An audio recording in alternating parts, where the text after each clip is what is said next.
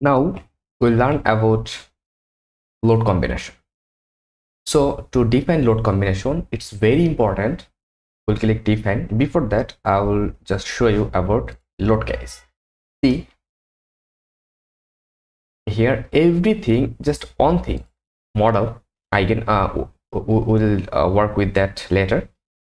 See here what we have defined in load case a load pattern that is available here okay? Available here. Everything. Now i'll just close it. I'll click here define then we'll go for load combination. Most important input from us it's load combination. So first of all i'll click here add combo. Now if you add something in your load pattern or if you delete something from load pattern then what you have to do you have to delete that. Or you have to uh, i mean you have to modify your load combination further. But we'll uh, use some technique. As i have told you previous that we'll use some technique here so that we can use the, this template anytime or anywhere when we'll work. So for that first of all i'll create a load combination its name will be dead load only for dead load okay? Dead load clear? And i will add here all of our dead with scale factor 1 so our partition all our float finish our lift lift load. Okay? Lfd uh, here we have a defined lf with lift. So it will be i will I, I will add that with a scale factor one. Now what is the reason here? Suppose when we are using this load combination or uh, suppose you need to delete your lf okay? You need to delete your lf then just simply come here and delete from here. And uh, it will be delete. But if you need to delete that uh, lf from every combination that it will be very complex. And in a load combination as a dead load we'll use that com. Here so i'll click here and everything will be same. Linear. Okay? Dot com. Again uh, I'll click here add combo then live load although we have only one live load here live load l means live load okay let me check something. I'll close it. I'll click ok. So here load pattern. Okay. D means dead load l means live load but in our load pattern sorry in a load case we can see our we have two live dot here. If i click here. Load name load pattern.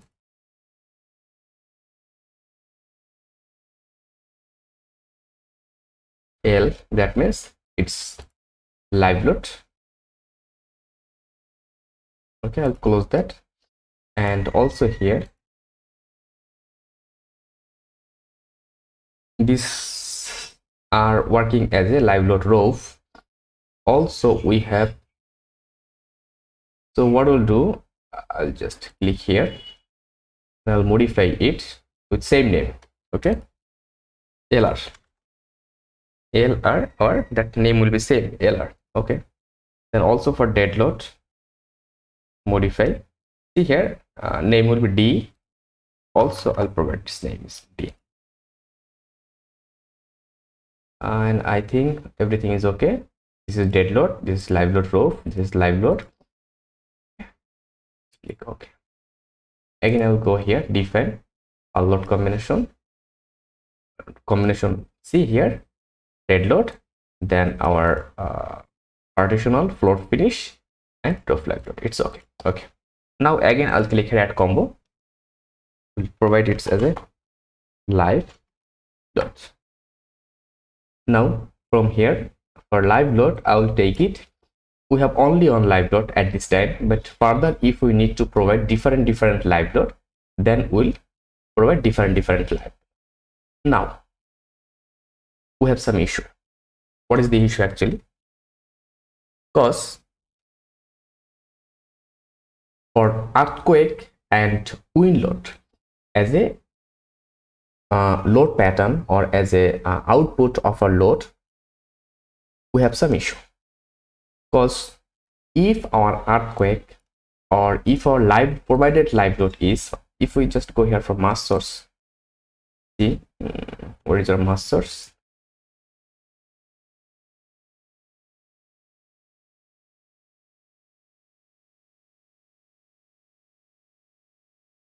Here seismic weight just i have created a sh uh, short note here.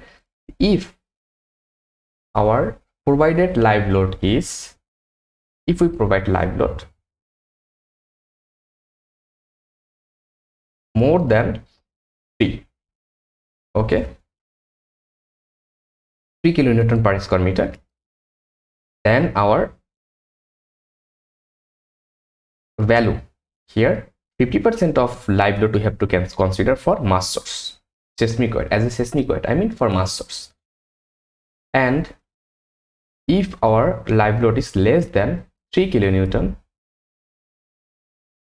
per square meter then we have to provide 0.25 live load as a mass source is it okay? Now for that also we'll use different mass source or different will provide different load system so that when we'll go for mass source then we can uh, that load also. So this is also for live dot okay? Now i'll just go here.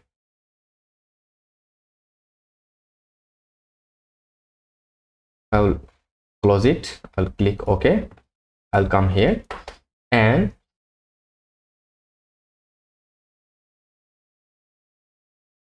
from load case or let's change it from load pattern for live load here only for live load okay.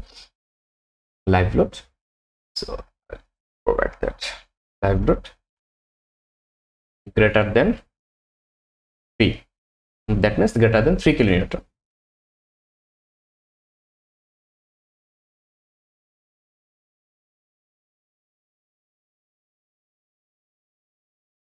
okay? 3 kilonewton per square meter greater than done. So for that i'll just click modify. Also i will add another live load which is equal to or less than. Equal to or less than 3 kilometer per square also it will be live load added. See? Here we have uh, when we'll provide some both are live load but but when we'll provide some live load which are less than 3 kilonewton or equal to 3 kilonewton then we'll use that pattern to uh, define our or to assign our live load. And when our live load is greater than 3 kilonewton then we'll use that one. That's it. Okay? I'll click OK. I'll just come here. Again, I'll go load here. See, this one is okay. But the previous pattern, it's also uh, L. So what I'll do, I'll just modify it. Here. Get if greater than, then I'll write here. Greater than 3 kilonewton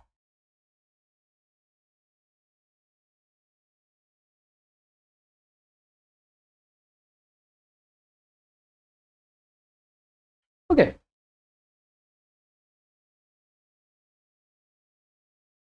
yeah, greater than 3 kilonewton. Done.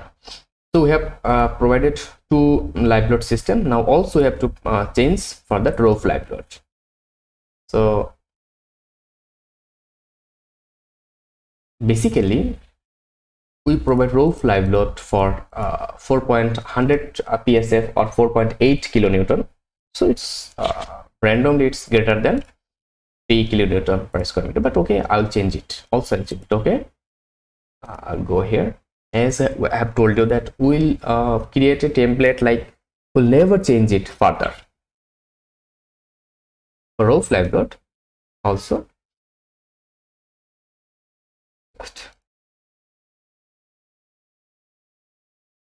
create two combination which is greater than 3 kilonewton then modify and less than or equal to 3 kilonewton. It's new. Okay? Then click ok. Go define load case. Everything okay and we'll change. Modify greater than 3 kilonewton it's okay. So this is for equal to less than and this is for greater than 3 kilonewton that's it. So you have perfectly done it. Now okay. Now i'll go for load combination. For combination now i'll add new combo for live load live live load. And here i will add that two live load. This one plus this one. Okay. Now you can tell me what is the difference between them? So again i'm clear clearing you. When we'll provide live load greater than 3 kilonewton then we'll use this option. And when you will provide live load less than 3 kilonewton then we'll use that option. And uh, this will not uh, or this will not show us any difference here actually. It will uh, show difference in our load sorry in our mass source. When we provide mass source then it will be actually effective. So uh, in our in our i mean uh, now some next lecture i will show you about that mass source. So i'll click. Okay this is for live load. And again i will go for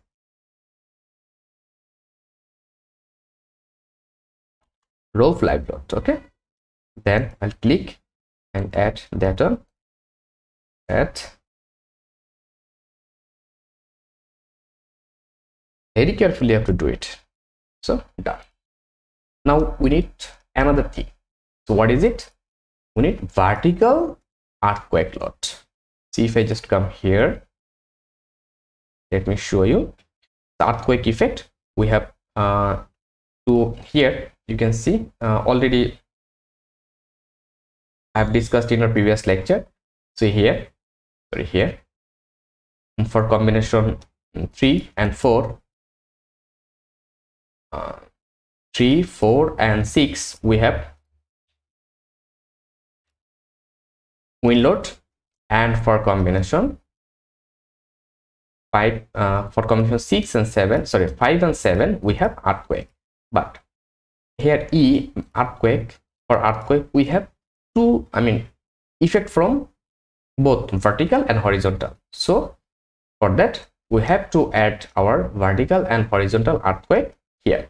At e means for combination 5 we have to take eh and ev that means horizontal earthquake effect and vertical earthquake effect. So already we have defined earthquake in a load pattern that that that value will be that value will work as a horizontal earthquake okay eh and we have to provide another earthquake that will be e v that means vertical earthquake. Is it clear to you? Vertical earthquake. So vertical earthquake we have to calculate for vertical earthquake.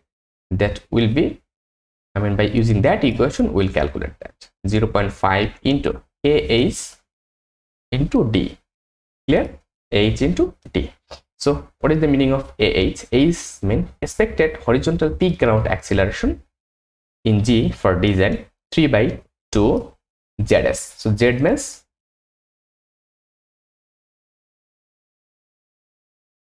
z means uh, zone coefficient and s means site dependent soil factor. Is it okay? Now i'll go here so live load is okay. Row live load is okay. I'll add.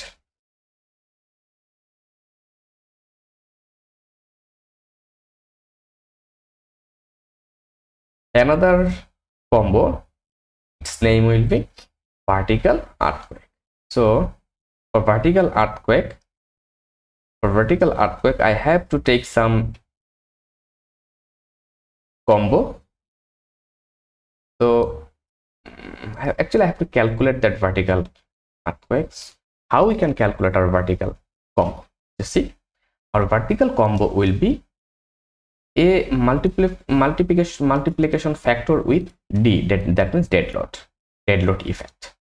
So the value of z and s are known to us from code. Okay? So here ah means that value. So the value of s and z will be clear or will be known to us from our COM code. But only dead load will be unknown. So what i will do actually i will just come here and i will create e v. That means vertical earthquake with dead load. Dead load and here we'll get that multiplication multiplication value or when we'll get that value then we'll multiply with that uh, scale factor. So at this time it's okay. No need to change it. Ev clear? So our all of all our required value that is ready. The value we need that is ready here to create our dot combination. Now we'll start creating our dot combination